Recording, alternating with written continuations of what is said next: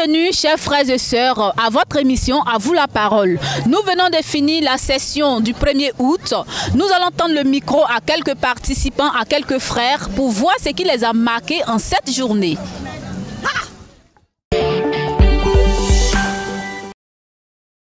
Alors, ce qui m'a marqué dans la journée d'aujourd'hui, c'est les nombreux témoignages. Les nombreux témoignages de comment les frères ont vu comment le Seigneur agit dans leur vie. Il y a eu beaucoup de témoignages édifiants. Des frères qui ont été délivrés, des frères qui ont connu le succès, qui ont vu la gloire de Dieu, qui ont vu comment leurs familles ont été délivrées de beaucoup, beaucoup de problèmes. Et ça, ça m'a beaucoup touché. Et c'est l'occasion encore aujourd'hui de voir que Dieu agit dans les vies. Lorsque ses enfants réunis prient ensemble et prient avec beaucoup de foi. Donc on voit comment Dieu est en train d'agir dans nos vies.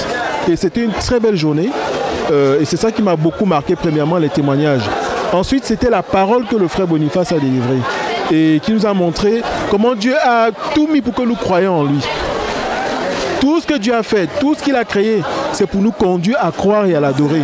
Et celui qui ne le fait pas, celui qui s'entête à ne pas l'adorer, alors il va connaître le jugement de Dieu. Et c'était un message très puissant. Et nous avons vu comment le Seigneur a conduit beaucoup de personnes à Christ. Beaucoup de personnes sont venues à Christ. C'était un message court mais très percutant et très puissant. Ça, ça m'a beaucoup touché. Et pour terminer, le clos de la soirée, où vraiment il nous a conduit à renverser les maladies incurables. Une prière de combat une prière de combat touchant avec, avec, avec précision. Et ça, ça m'a ça m'a fait entrer dans quelque chose voilà, que je n'avais jamais expérimenté.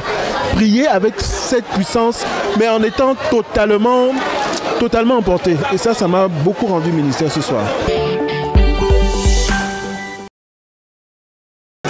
Ce qui m'a marqué aujourd'hui, euh, c'est le fait de reconnaître, d'expliquer euh, clairement que de nombreuses maladies sont d'origine satanique et qu'il y a des esprits qui travaillent pour amener ces maladies ou pour maintenir ces maladies dans, la vie des gens. De sorte qu'on ne peut pas, pour appréhender la maladie, se contenter de, soins médicaux.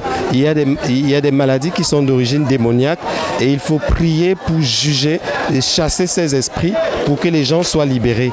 Et il y a en particulier le témoignage de Madame Guessant qui m'a beaucoup touché, où elle explique comment elle est tombée. On croyait qu'elle était physiquement malade, mais en réalité, elle était prise dans un véhicule qui la transportait avec des esprits de mort autour. Ça nous montre bien que la maladie peut avoir une origine satanique et il faut le reconnaître pour avoir une vraie solution.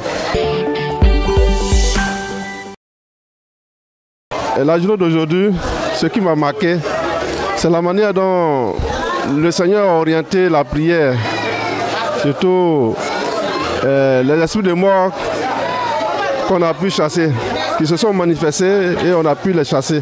Au niveau de la délivrance, en tout cas, il y a eu beaucoup de manifestations en, ce domaine-là.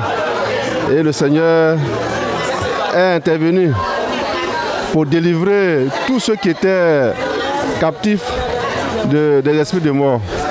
C'est ce que je pourrais dire. Et ce qui m'a réellement marqué, c'est la persistance hein, des prières de les frères. Et parce que je vois l'engouement et ce que les frères vraiment et, il veut le délivrance en ce que être délivré, il veut sûrement établir pour établir les bénédictions. C'est la raison, il n'y a pas le rituel. Chaque personne suivit le, le prier et en fonction de la direction des missionnaires. Ça m'a marqué beaucoup. Et je prie que ça continue comme ça et tout le monde sera libéré. Amen. En anglais? Um, um, uh, what, what really touched me today is that uh, when I see the way the brethren pray today, and they are praying with joy and the direction, and also they were insisting in prayer. And I find out that everyone that are delivered and those that want to be delivered, they really want their deliverance to be stabilized, you know, so that with no problem. I really, I pray that they will continue like that. Thank you, Lord. Amen. Alors, aujourd'hui, 1er août, l'une des choses qui m'a marqué, c'est le témoignage du frère Prince, le missionnaire du Nigeria. Effectivement, dans cette dit, il y a eu cette partie où une personne qui avait déjà son église qu'il y avait des gens, des personnes derrière lui.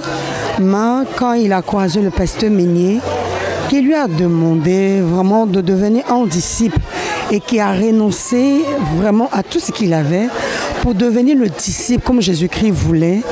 J'aimais cette partie d'humilité, gloire à Dieu, et cette partie d'obéissance également. Alors j'ai vu que derrière l'obéissance, c'est une grande bénédiction. Et effectivement, il a été béni. Ça, c'est l'une des choses qui m'a véritablement béni. Et j'ai compris que en tant qu'un enfant de Dieu, il est important d'être obéissant et surtout d'être humble. Amen. C'est l'une des choses que je garde. L'avez entendu, les frères ont été bénis d'une manière ou d'une autre, que ce soit la prédication, les témoignages, les chants. Chacun a reçu particulièrement sa part. Merci de nous avoir suivis et bonne suite de programmes sur la RTVC, la chaîne de la Bible.